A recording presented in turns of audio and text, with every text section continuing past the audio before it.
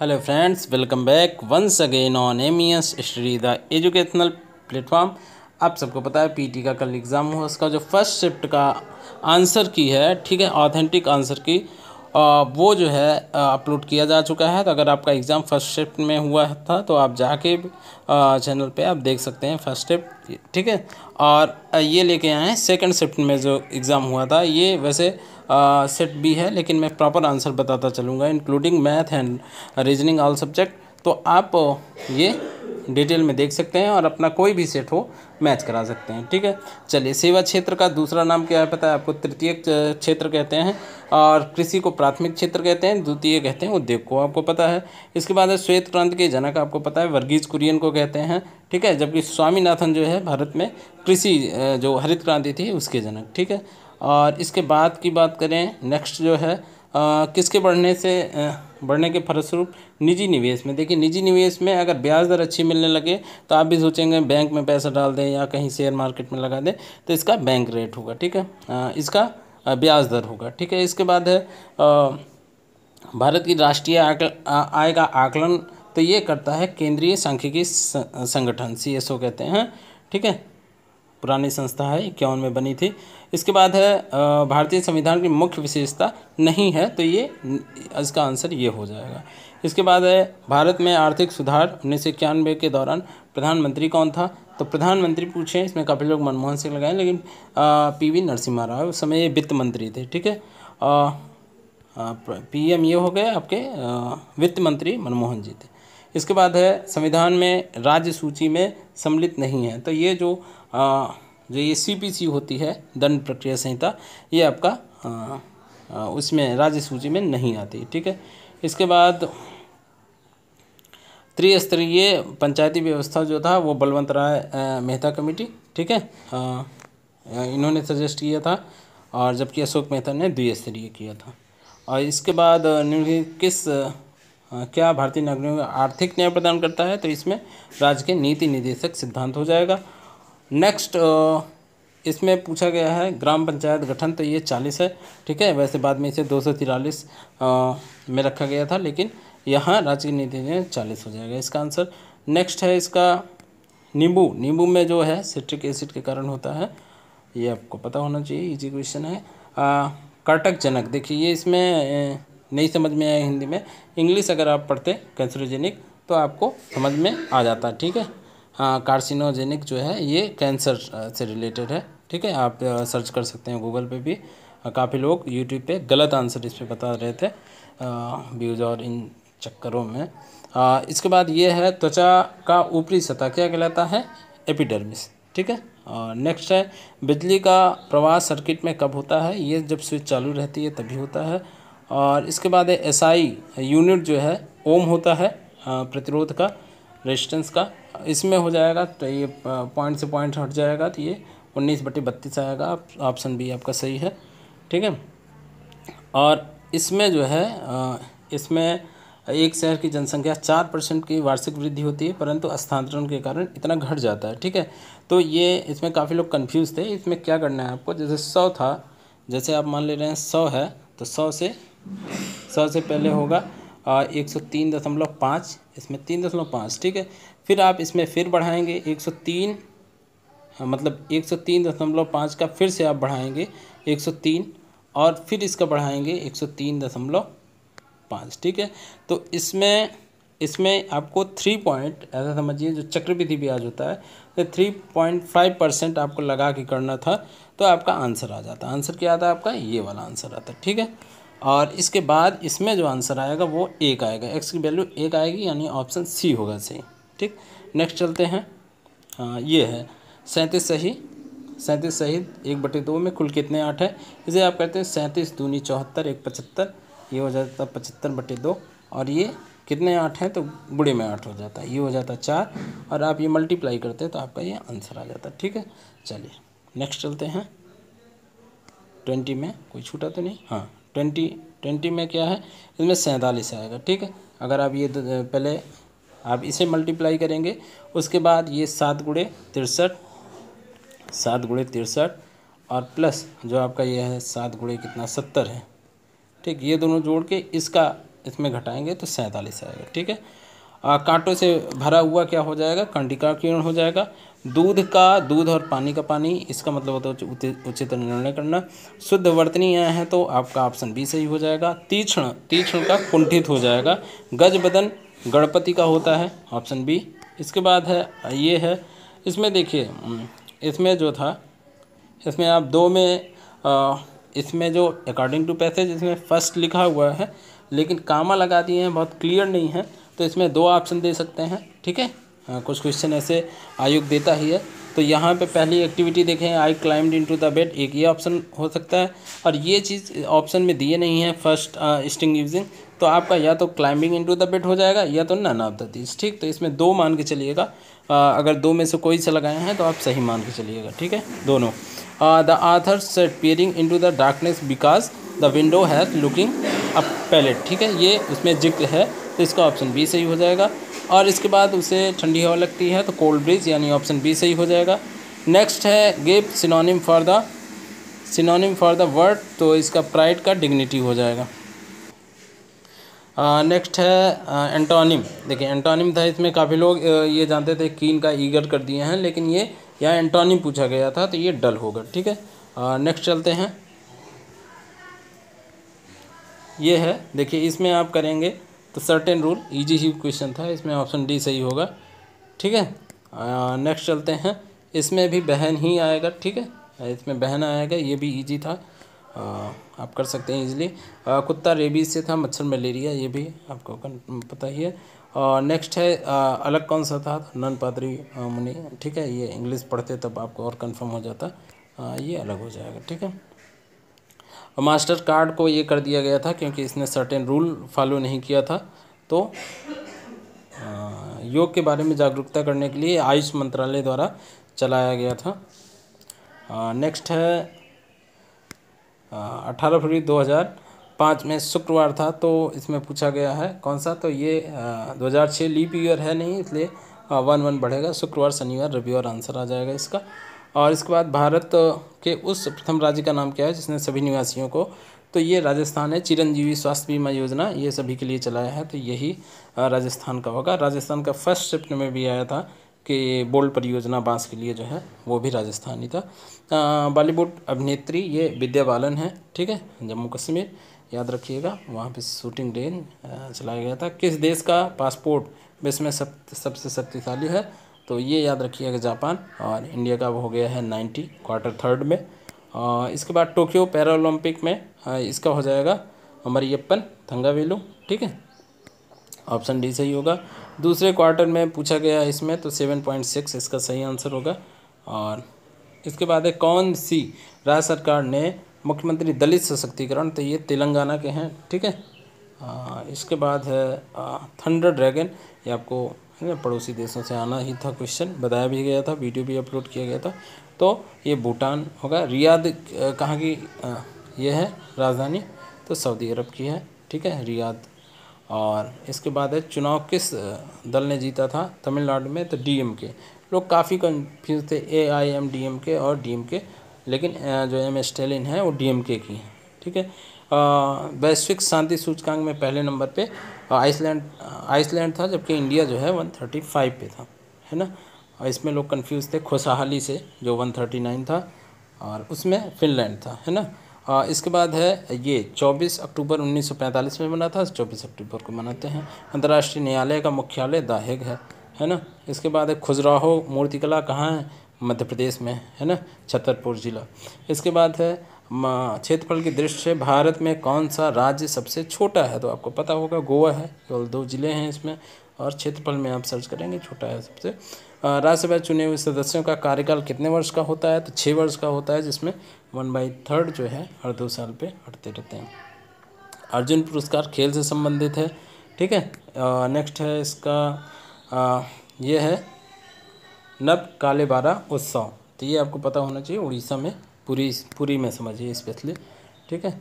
इसके बाद है कौन सा ये ग्रीन हाउस गैस नहीं है तो ग्रीन हाउस गैस आपका नाइट्रोजन नहीं है, बाकी तीनों है।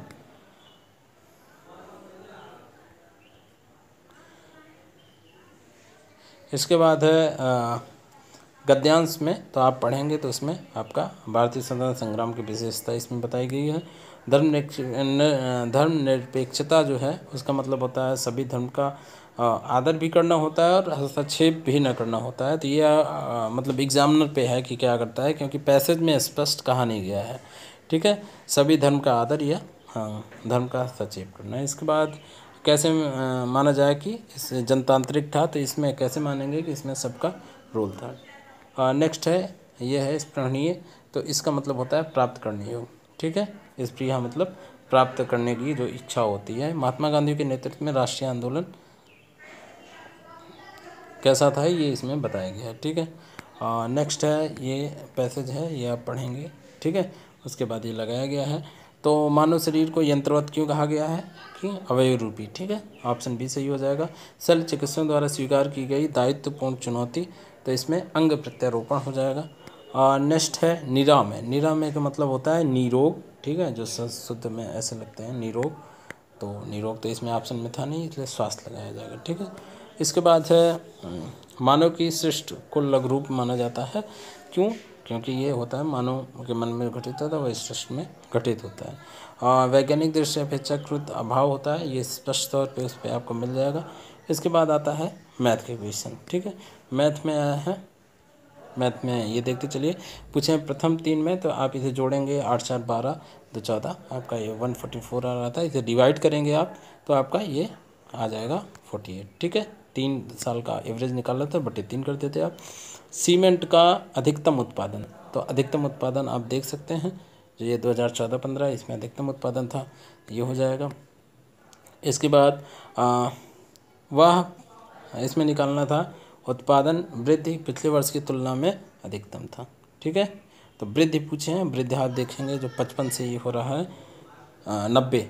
तो ये अधिकतम है। कहीं इतना ग्रोथ नहीं हुआ तो इसी का आपका निकालना था। पचपन से कितना बढ़ रहा है? पैंतालीस बढ़ रहा है तो आप इसका परसेंटेज निकालते। आपका इसमें ऑप्शन ये सही है, ठीक है? इसके बाद है, उत्पादन अधिकतम स्तर। इस वर्ष घटा। अभी इसमें घटने की बात हो रही है तो इसमें 2015-16 है ठीक है? 2015-16 आप देख सकते हैं। 2015-16 में ये अट्ठानवे से साठ हो गया है, ठीक है? तो ये घटा है अगर आप ओवरऑल कंपेयर करेंगे तो। उत्पादन में पिछले वर्ष की तुलना में वर्ष अधिकतम वृद्धि कब हुई? तो अधिकतम वृद्धि हुई दो हज़ार तेरह चौदह में, ठीक है? दो हज़ार तेरह चौदह में दो हज़ार तेरह चौदह, आप देख सकते हैं पचपन से ये पहुँचा है, ठीक है? तो इसका पूछे हैं यहाँ पे किस वर्ष प्रोडक्शन बढ़ा ठीक है? अच्छा इसमें दो बार वृद्धि हुई है। हाँ तो इसमें वर्ष के दौरान अधिकतम वृद्धि तो आप देख सकते हैं, वो जो अधिकतम वृद्धि थी, वो 2013-14 में थी। ठीक है? इसके बाद ये है क्वेश्चन। इसमें पूछे हैं विगत वर्षों में एक्स औसत आयात कितना था? औसत आयात करेंगे, आप टोटल जोड़ेंगे, जो कि around seven three double zero आ रहा था, और इसे आप छः है तो छः से डिवाइड करेंगे तो आपका लगभग बारह सौ, बारह के लगभग आ रहा था। तो उसमें आप कंपेयर करेंगे तो इसमें दो आंसर आएगा ठीक है? दो, क्योंकि एक तेरह सौ, एक सोलह दो हज़ार ही इससे ज़्यादा है। इसके बाद एक्स के औसत आयात से औस एक्स के औसत आयात से कम आयात का अंतर तो ज़्यादा आयात दो है, कम आयात चार है, अंतर इसका दो आएगा। आफ्टर दैट नेक्स्ट है, आयात के प्रतिशत सभी वर्षों के एक्स के आयात औसत आयात से कितना है? तो इसमें आपको करना था आपका जैसे मैक्सिमम दो हज़ार है और एवरेज है कितना? तिहत्तर सौ बटे, तिहत्तर सौ बटे छः। आप इसे करते तो ये आता दो छः दूनी मतलब आप ये करते तो छः दूनी बारह हज़ार में सात सौ जाता। और ये आप इससे निकालते, आपका कितना आ जाता ये लगभग सैंतालीस सौ सैंतालीस सौ और कितने से एवरेज निकालना था? तिहत्तर से। जब आप इसे सॉल्व करते तो आपका ये आ जाता sixty four point three eight, ठीक है? आफ्टर दैट आयात में वृद्धि पूछा गया है। तो इसमें 900 से 1200 हो रहा था 900 से 1200 है ना? 900 से 1200 तो कितना बढ़ रहा है? अगर बढ़ने का पूछते तो तैंतीस नंबर तीन घटने का पूछते अगर इससे तो 25 परसेंट। काफ़ी लोग इसमें कन्फ्यूज़ होकर 25 परसेंट भी लगा दिए हैं। नेक्स्ट है सभी वर्षों के लिए वर्ष दर एक्स के आयात की वृद्धि की औसत क्या है? तो आप ये देखेंगे आ, ये देख सकते हैं यहाँ पे। ये यहाँ पे कितना कितना बढ़ रहा है? पहले 200 बढ़ रहा है फिर तीन सौ बढ़ रहा है। उसके बाद ज़ीरो बढ़ा है फिर सौ बढ़ा है फिर सात सौ बढ़ा है अब जोड़ेंगे सात, एक, आठ, तीन ग्यारह दो तेरह। तेरह सौ है और इसे आप डिवाइड करेंगे पाँच से, क्योंकि एक साल तो बढ़ा नहीं है। तो ये कितना हो जाएगा? पाँच दूनी पाँच दूनी दस, पाँच छः तीस, यानी दो सौ साठ। ये ऑप्शन में आपके था। हाँ था तो आपका ये सही हो जाएगा। ठीक है? चलिए नेक्स्ट चलते हैं। इसमें ये पूछा गया था बी सी डी द्वारा क्रमशः सोमवार, मंगल और शनिवार। तो इसमें क्रमशः लिखा हुआ है, ये अगर आप ऐसे जोड़ेंगे सोमवार में आपका कितना था?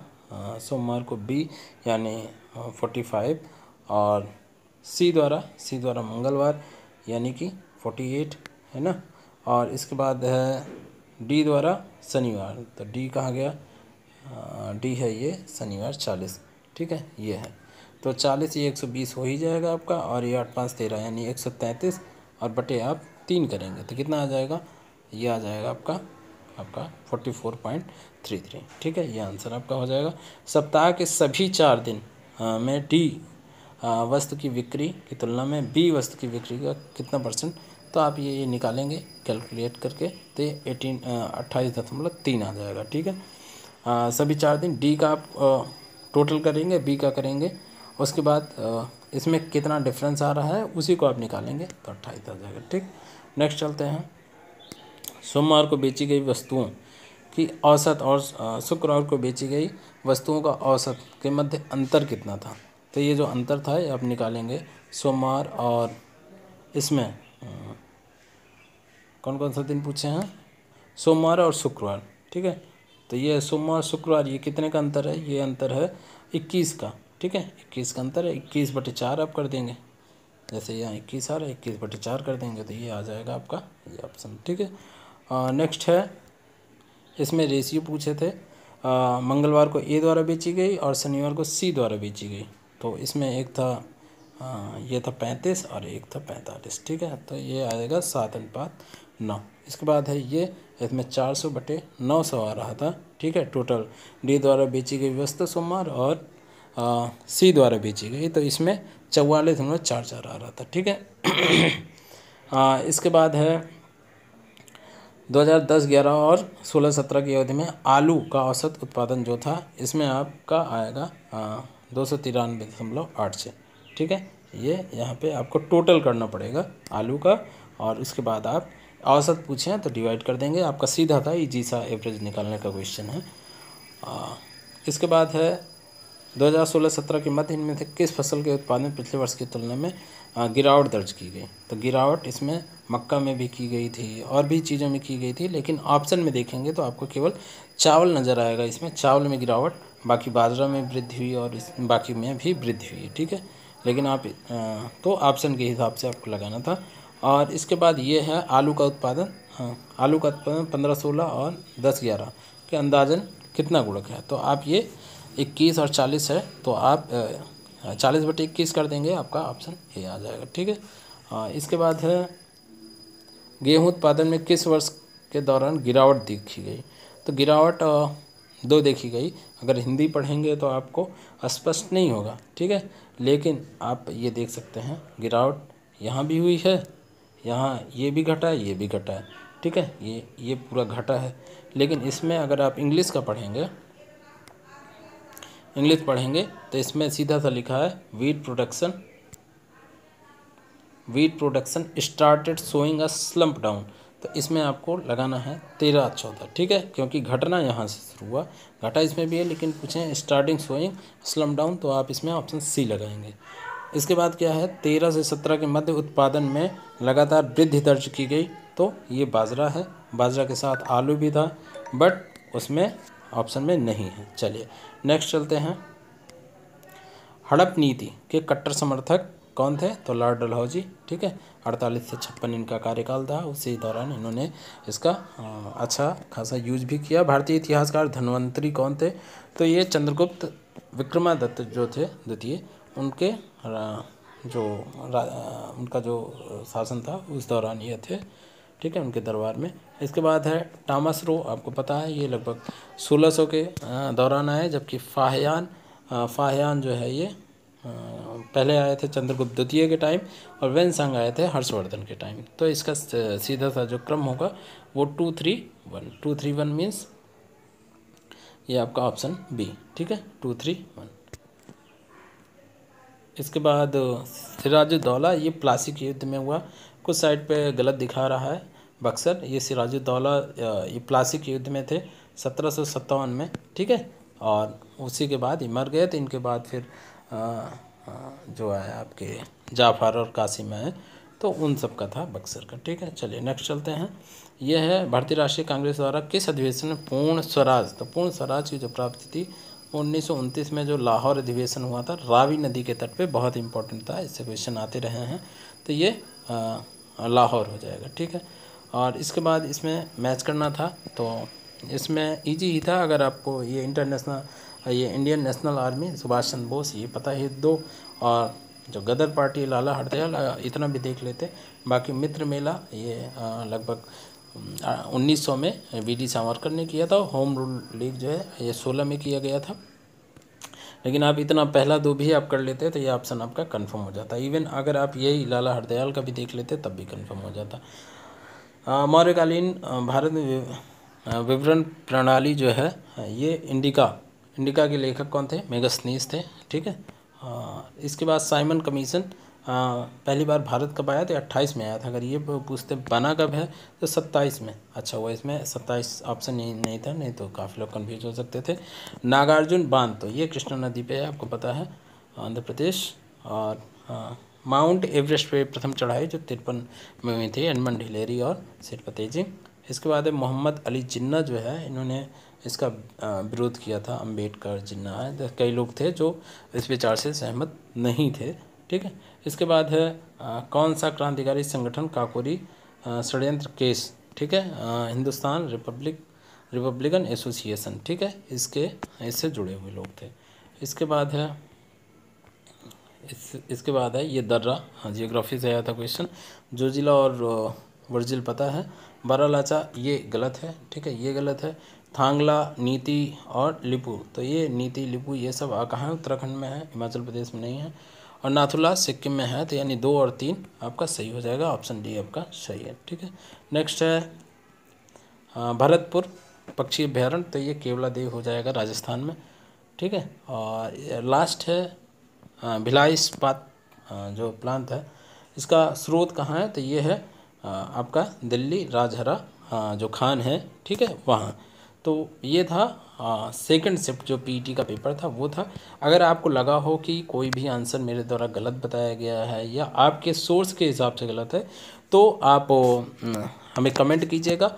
और इसके अलावा हमारा एक चैनल है एम ई एस हिस्ट्री नाम से, ठीक है? तो वहाँ जाइएगा, अगर वहाँ कुछ डिस्कस करना है हमसे तो आप डिस्कस भी कर सकते हैं, ठीक है? हमने जो सोर्स देखा है, उससे दिखाएँगे, और आप अपना, अपनी बातें रख सकते हैं, और अगर क्लेम किया जा सकता है तो बिल्कुल क्लेम तो आज का था ये वीडियो सेकंड शिफ्ट आप अपना मैच कीजिए और कितने मार्क्स आए कमेंट ज़रूर कीजिएगा ताकि एक जनरल आइडिया लग सके किसके कितने मार्क्स आ रहे हैं। Thank you very much for watching this video मिलते हैं नेक्स्ट वीडियो में एक नए टॉपिक के साथ। अगर आप नए व्यूअर हो तो चैनल को सब्सक्राइब ज़रूर कर लीजिएगा और वीडियो पसंद आया हो तो लाइक ज़रूर कर लीजिएगा। Thank you very much